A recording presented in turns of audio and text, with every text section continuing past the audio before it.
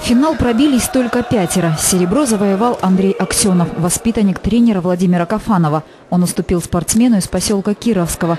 Зато остальные уссурийские финалисты завершили поединки в свою пользу.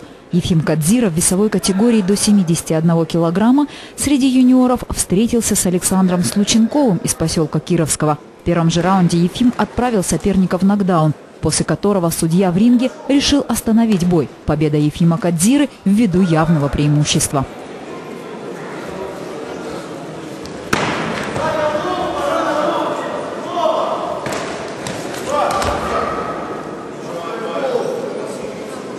Еще один юниор Максим Закаминный в финале встречался с Максимом Шимченко из Владивостока. Однажды они уже боксировали на Кубке Владивостока в декабре. Тогда хозяин ринга проиграл.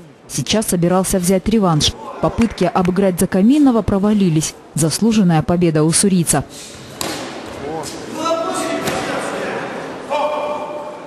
Среди взрослых спортсменов в весе до 75 килограммов боксировал Станислав Маланчук.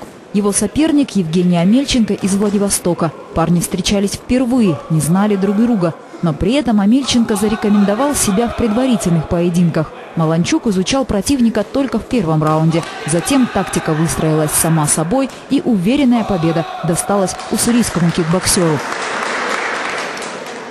Фаворитом категории до 71 килограмма изначально был Александр Захаров, бронзовый призер чемпионата России прошлого года. В финале Саша встретился с Андреем Землянухиным из «Находки». Не простоял Андрей и одного раунда. После пропущенного удара ему отсчитали нокдаун, и ввиду технического превосходства победу присудили Захарову. Чемпионат и первенство Дальнего Востока пройдут в марте в Якутске, где будут разыгрываться путевки на российские соревнования.